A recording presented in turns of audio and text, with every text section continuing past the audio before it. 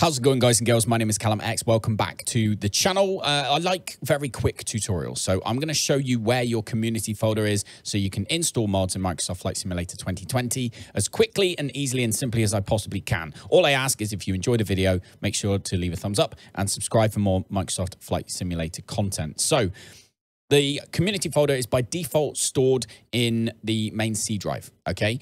Uh, we'll go into a little bit more detail at the end as to where it could be if you've changed your settings. But for the most people, it's going to be in your C drive. So we're going to go down. We're going to open a Finder window up like this. We're going to click on C drive, then scroll down to the bottom and find users.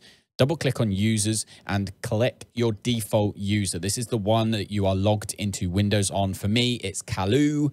Uh, most people will probably only have one. Uh, you'll have your name, default, and public. So click on your main user and now we need the app data folder just here. Now, for those of you who don't see the app data folder, because maybe it's hidden, you need to come up to your folder options. So I'm on Windows 11. So you click up here, you've got three dots down to options, but you need your folder options. Okay. And in view, you'll see there's hidden files and folders. You need to tick the show hidden files, folders, and drives. It might be don't show hidden folders, folders, and files if you can't see it. So untick that, tick show hidden files, apply and okay, job done. Right, double click in your app data folder. Now you need to head to local. Then you're going to scroll down and find packages, which I'm being blind and can't find for some reason today because I'm trying to do it quickly. There we go, packages.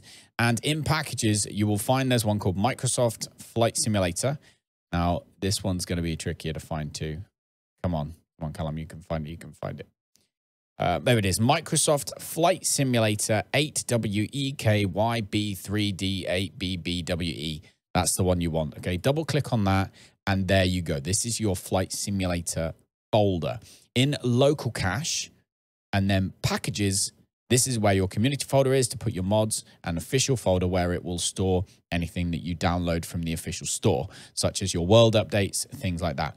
So that's how you find it if you just clicked go and did everything exactly as it said in the tu in the uh, tutorial in the uh, main installer. Okay, if when you're installing Microsoft Flight Simulator and it says where do you want to save the files, you changed that folder, which is what I did, then it will you know that's where your community folder will be. It will be stored there. That's where your updates will go etc etc so what i did is when i installed microsoft flight simulator i actually have a separate SSD drive, 500 gig SSD, and that's where I told it to put Flight Simulator. Okay, the actual game itself is a very small file, it's like five gig, but the folder, uh, the world updates and all of this sort of thing, this is what really takes up the space.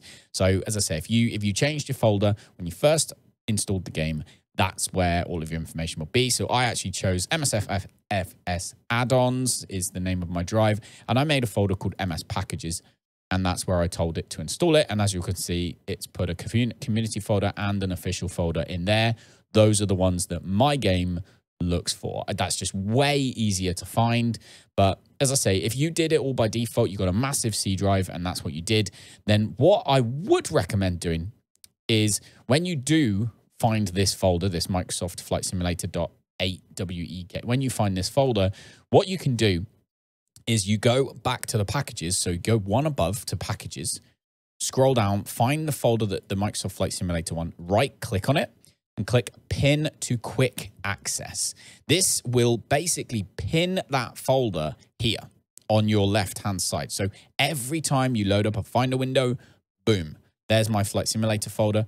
Really easy to find. If you find this video useful, which I really do hope you do, then uh, please consider giving it a thumbs up. Subscribe, as I say, for more Flight Simulator content. There's going to be a lot of it going up on the channel. And, of course, comment down below. Let me know how you get on. Or if you have any questions, of course, as well. Hopefully, I will see you guys on the channel another time. But until then, go install some mods now that you know where they go. Take care. Have a good one. Fly safe. Bye-bye.